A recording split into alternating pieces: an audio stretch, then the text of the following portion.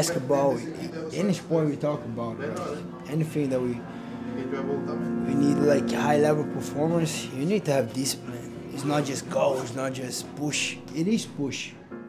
Совсем недавно прошел турнир UFC, где в главном событии вечера встретились один из лучших полусредневесов в истории, бывший чемпион Тайрон Вудли и набравший обороты Гилберт Бернс. Этот поединок имеет свою историю, и он сопровождался неплохим трештоком в его преддверии. И думаю, что он идеально подойдет для рубрики «За слова нужно отвечать». Но все-таки впервые, ну за другие ролики, которые я выпускал по этой рубрике, парень, который больше всего болтал, выиграл. И причем не просто выиграл, а сделал это в уверенной манере. Друзья, с вами Страйкер, и сегодняшнее видео будет посвящено противостоянию Бернса и Тайрона Вудли. И как Бернс все же ответил на свои слова. Погнали!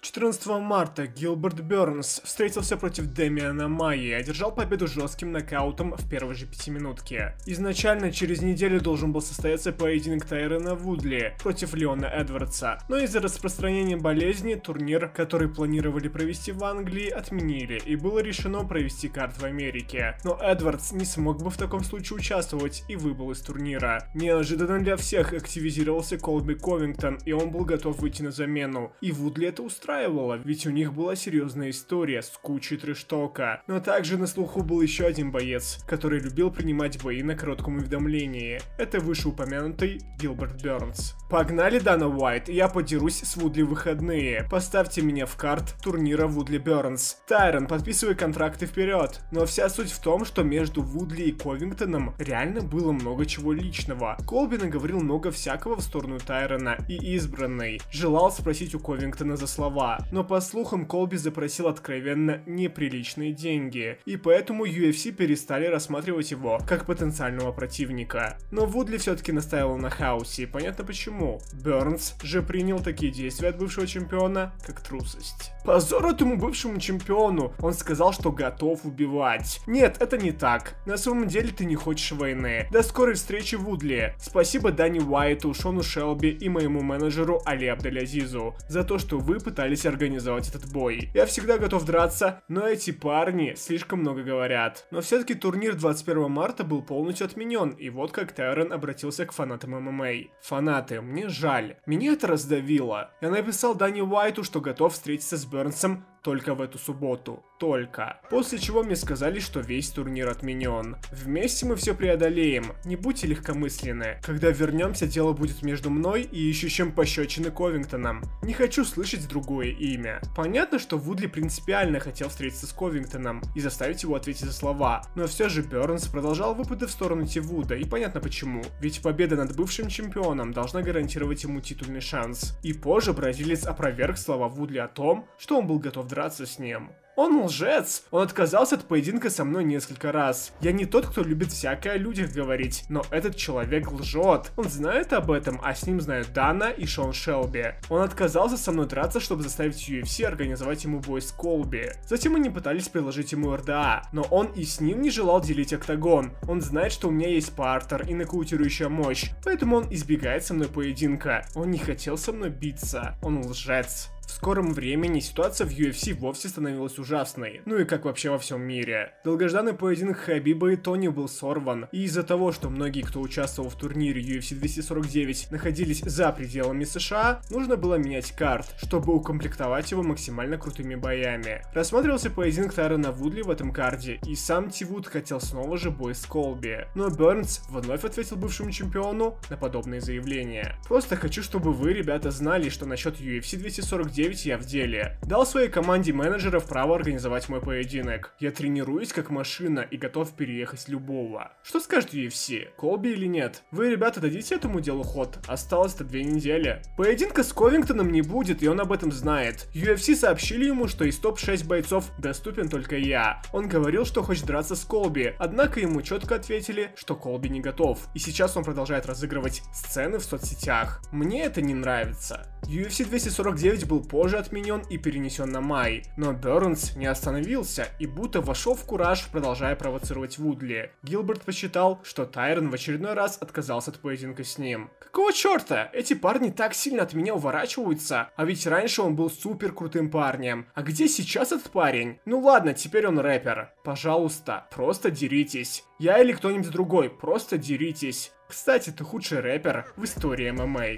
Через время бразилец заливает весьма странную фотографию в Твиттер и говорит, что все же Вудли согласился на поединок. И в итоге Тайрону и вправду надоели все эти выпады Бернса. И после того, как в очередной раз был заведен разговор об этом поединке, Вудли сказал, что готов принять его. И теперь наконец-то Тивуд сказал что-то в сторону Бернса. Я хочу делать со своими противниками разное дерьмо, ставить их в опасное положение и причинять им урон. Я говорю об уроне в буквальном смысле. Я не знаю, был ли я когда-нибудь настолько сфокусирован заинтересованным. Бой с Бёрнсом — это классическая история о том, когда человек о чем-то просит, не понимая, что его ждет. Болельщикам будет очень жалко Бёрнса. Бразилец был рад, что Вудли принял поединок и даже назвал Тайрона достойным противником, но в итоге продолжил делать то, что и раньше. Я считаю, что представляю большую угрозу для Тайрона Вудли. У меня нокаутирующая мощь, такая же, как и у него. Я думаю, что смогу защищаться от его попыток провести тейкдаун. Но если он даже и переведет меня, то мы окажемся в моем мире. Бой со мной плохой матчап для него. Вот почему с самого начала он не хотел нашей встречи. Я готов к лучшей версии Тайрона, и я действительно готов продемонстрировать свои навыки. Разумеется, он избегал поединка со мной. Если он победит, то он победит бойца, который только недавно пробился в топ-10. Но если я побью его так, как я планирую, то это станет настоящей катастрофой для Тайрона Вудли. У него минимальные шансы снова стать чемпионом. Я очень уверен в себе. Мой последний бой состоялся в марте. Его последний бой был в марте 2019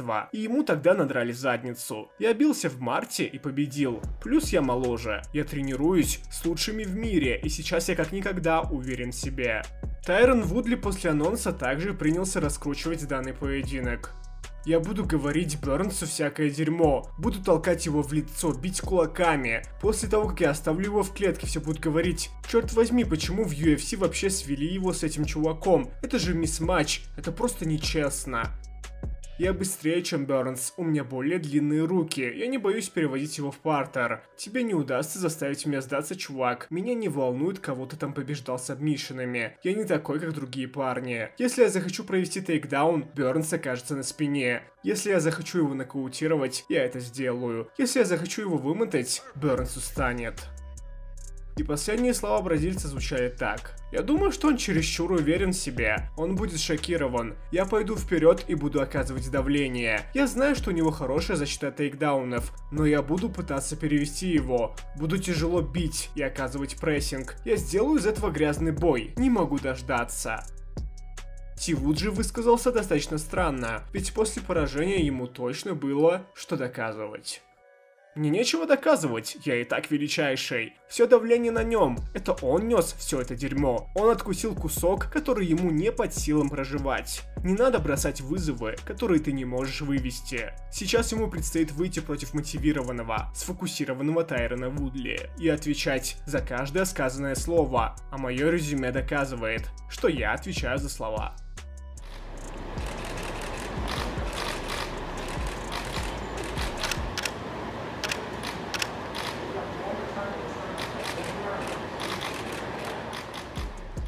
Поединок вышел полнейшим деклассом в одну калитку.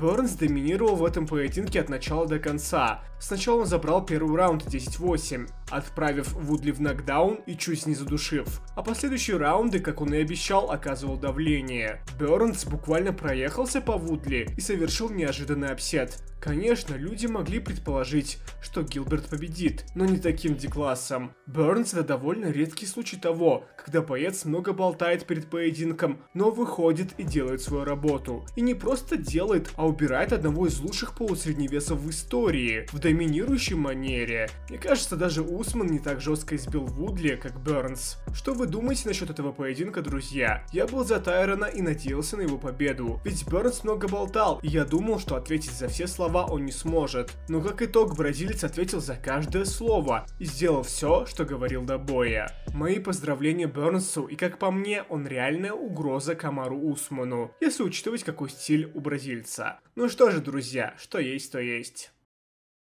Ну что ж, дорогие друзья, а на этом наш ролик заканчивается. Если он вам понравился, то, пожалуйста, подпишитесь на канал и поставьте лайк под этим видео. И не забывайте нажимать на колокольчик, чтобы не пропускать новые видео. А с вами был Пол, и вы были на канале The Striker MMA. До скорых встреч, дорогие друзья. Увидимся в следующих видео.